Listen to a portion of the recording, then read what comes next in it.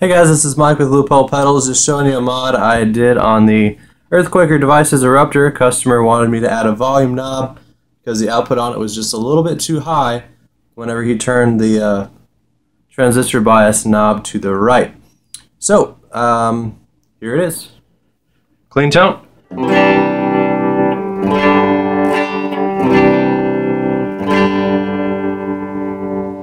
So right now the pedal is set stock. The volume knob or the volume attenuator knob that I installed to set max, so there's no disturbance to the volume. This guy right here. Let me go ahead and turn the pedal on.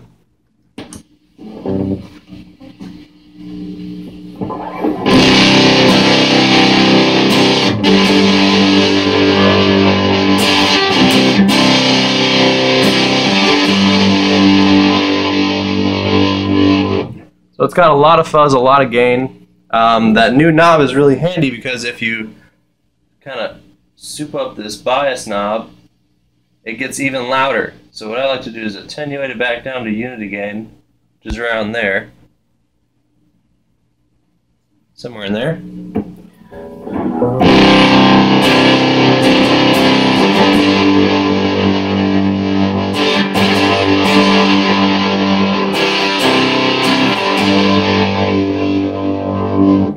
A lot of really heavy fuzz. It sounds amazing. Just to give you an idea, if I put this knob back on stock, it's quite a little bit louder um, than if you didn't have the volume attenuator button.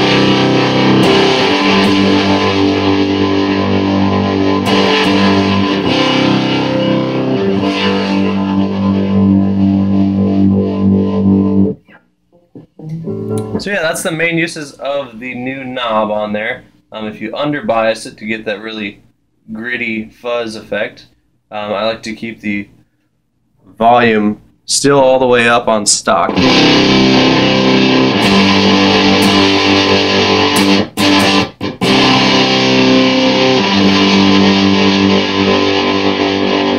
So you can tell you do lose a little bit of volume in that setting.